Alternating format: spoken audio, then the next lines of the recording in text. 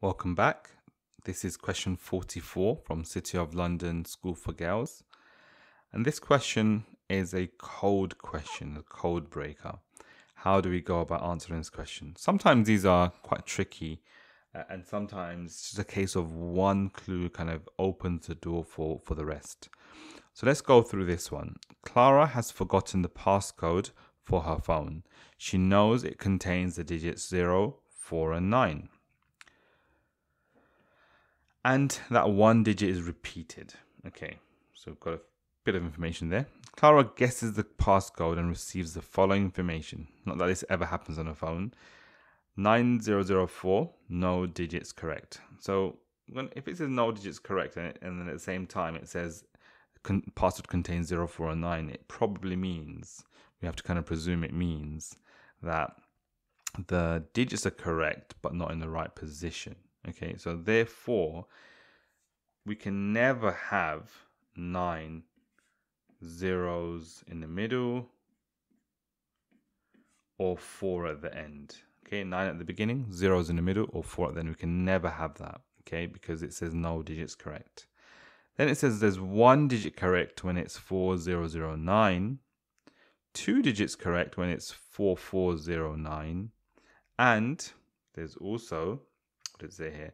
4990 has three digits correct. Okay, so 4990 has three digits correct. And those are our clues. Okay, so we've got to use these clues to work out what the actual code is. And so, quite tricky, I suppose, right? At first, might seem.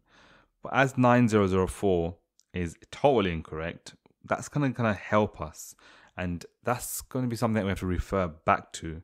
If we know all four of these digits are not in the right position, then that's going to help us for other clues. So let's have a look at the other clues again. 4009 has one digit correct. So that must mean that either 4 is at the beginning or 9 is at the end. Okay? It can't be that both of these are correct, but we do know that says one digit is correct. So it's either four at the beginning or nine at the end. Okay.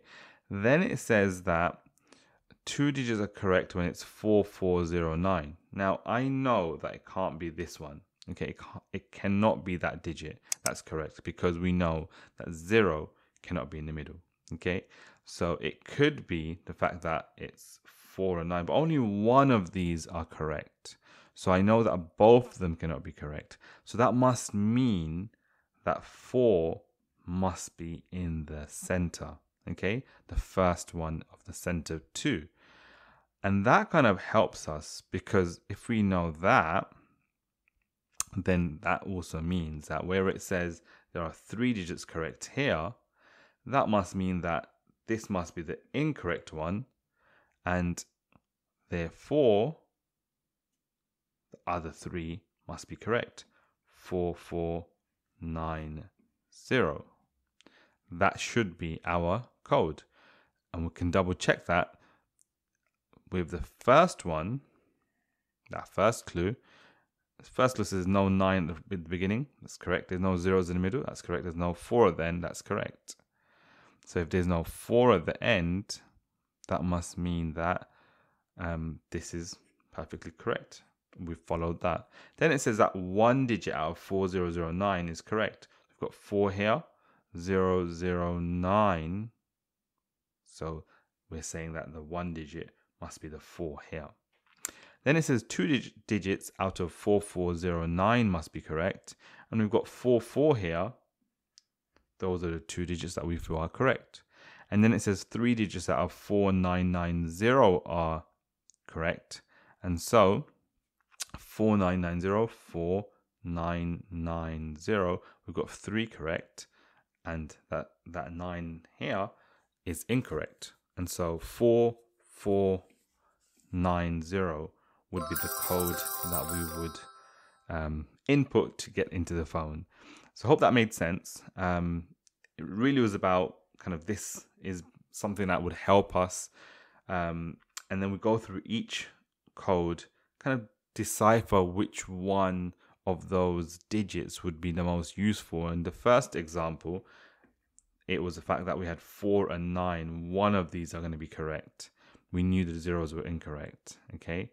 Um, and so we weren't sure which one. Then the two digits correct, we kind of worked out that it can't be zero and it has to be one of the four and nine. So the other four must be correct. This was uh, our third clue, kind of gave us that one.